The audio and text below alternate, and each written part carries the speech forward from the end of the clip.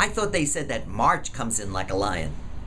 But the truth of the matter is that Tammuz, the Hebrew month Tammuz, came in like a lion. First, with the murder of Leib Kletzky, the Norway massacres, the weather, the heat. It's like incredible what is going on. Well, Tammuz is always a fretful month for me, and I think for a lot of Jews.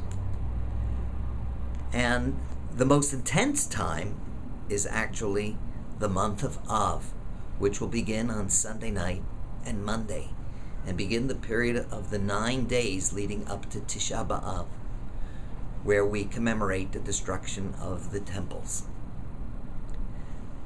In Judaism, there's such a thing as propitious times. There's a propitious time for redemption, the month of Nisan, Passover. There's a propitious time for happiness, the month of Adar and Purim. There is a propitious time for sadness, and that is the month of Av. As the rabbis say, Misha nichnas Av mema'atin b'simcha.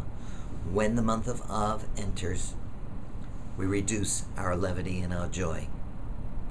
Let us pray that this month of Av will not be a truly sad month.